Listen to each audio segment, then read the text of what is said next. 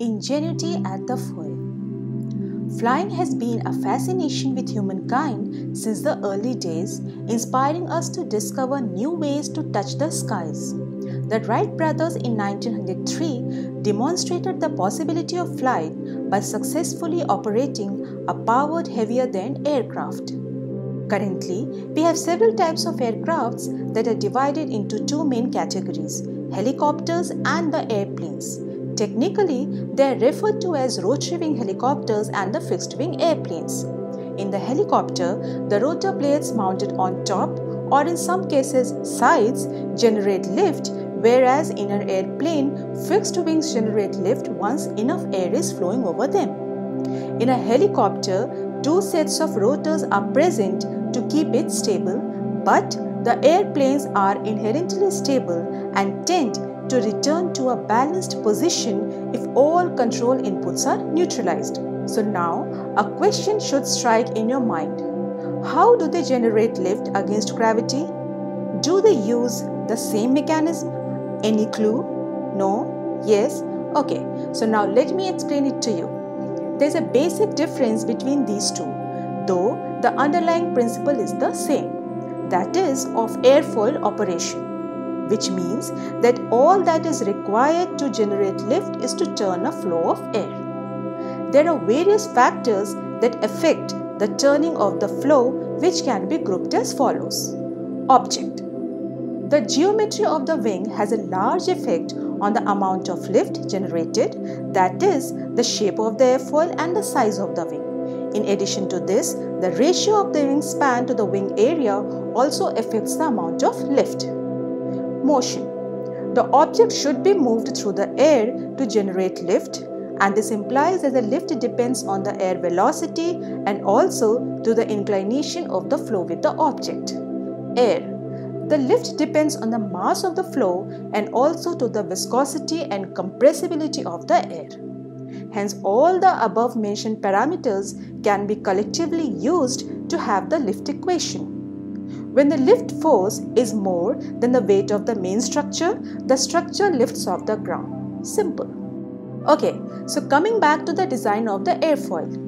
Needless to say, the airfoil design is inspired from that of a bird's wings. Sounds interesting. The airfoil deflects the oncoming air or a downward force, resulting in a force on the airfoil in the direction opposite to the deflection of air and this force is known as aerodynamic force and can be resolved into two components lift and drag. Lift and drag are the main keywords of aerodynamics. During the design of any aircraft, engineers try to maximize lift while minimizing the drag.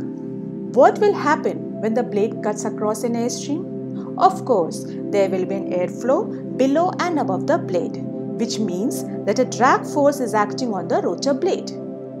An airfoil generates lift by exerting a downward force on the air as it flows past.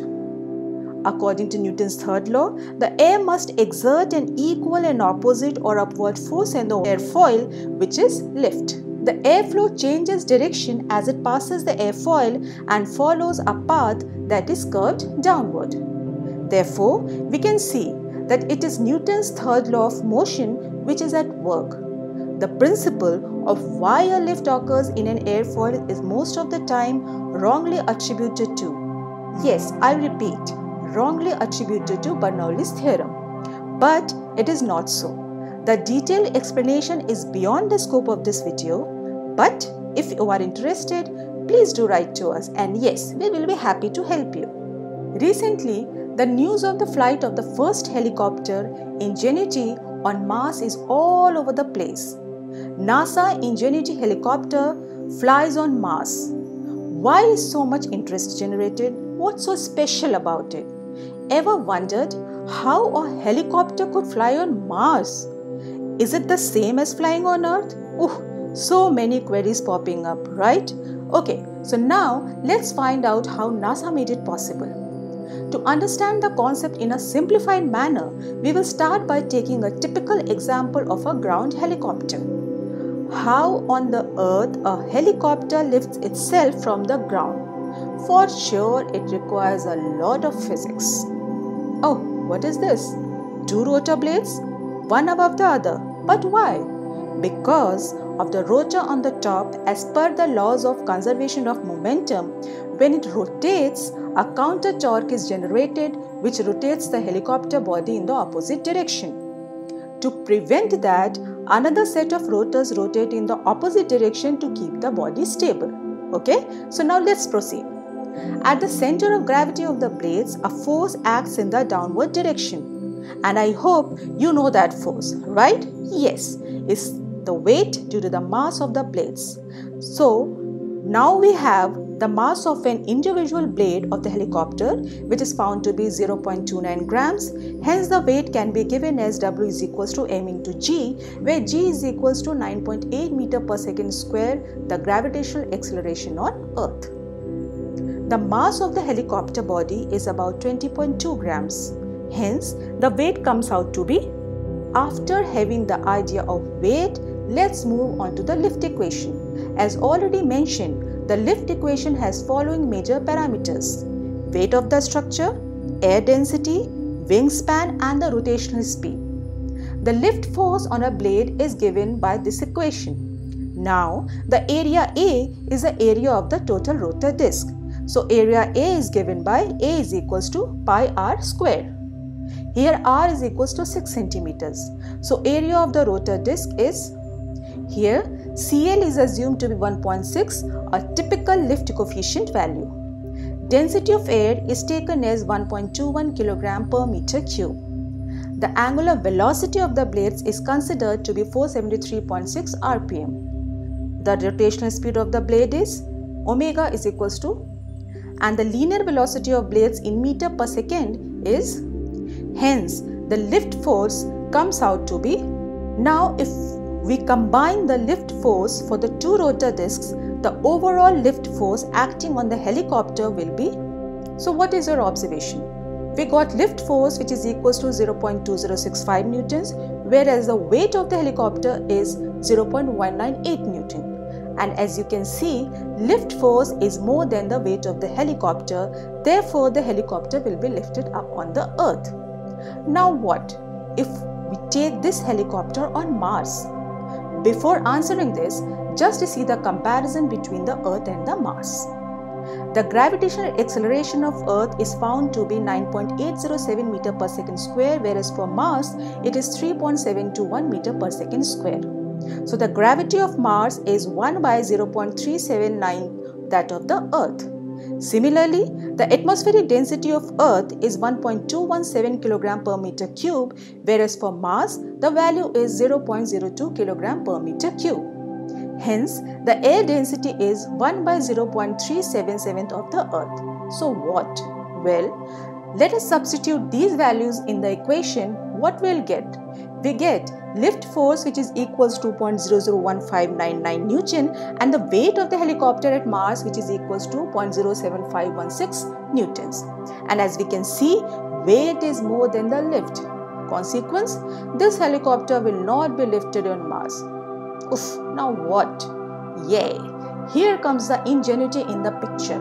Pun intended the scientists at NASA studied and tested various configurations and finally zeroed in on a design which had minimum mass, hence weight, long wings, and high rotational speed, almost an order more than that of Earth helicopters.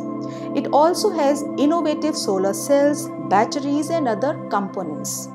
The results we have seen are fantastic. What we did are the back of the envelope calculations. To realize such a system requires lots of effort and ingenuity in structures design, sensor design and controller design. As already discussed that the Mars atmosphere is 99% less dense than the atmosphere of Earth, ingenuity has to be light with rotor blades that are much larger and should spin much faster than what would be needed for a helicopter of Ingenuity's mass on Earth.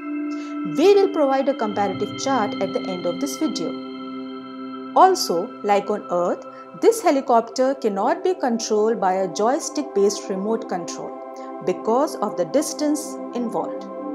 It can take up to 15 minutes or more for the command from Earth to reach Mars and equal time to come back. So lots of autonomy is required.